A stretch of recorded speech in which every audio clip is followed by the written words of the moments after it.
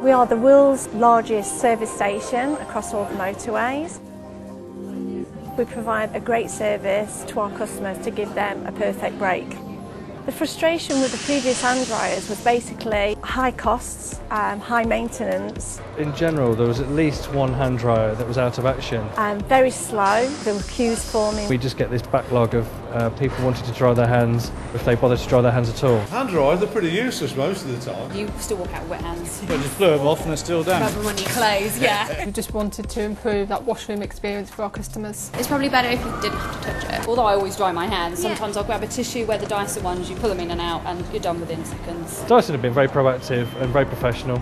Great communication, great interaction, great teamwork. We decided to use Dyson Airblade V hand dryers to improve on the speed. Less maintenance work on them is involved and it's more hygienic. It's got to improve and raise the bar for our customers. The Dyson V hand dryer is obviously a new innovation, a totally different concept to drying your hands, and it is just a fantastic experience.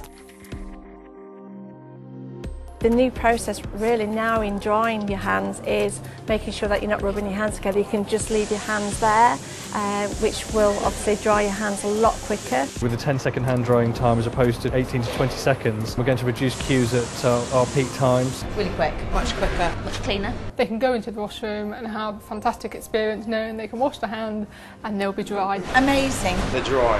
Hands have never felt so dry. It's from filtered air as well. less chance of getting germy. They're just state of the art, nobody else has got them, and why not? Let's be a first. I've never seen a hand dryer like that, they stand out. A million times better. Leading the way, I think. Thank you, Mr. Dyson.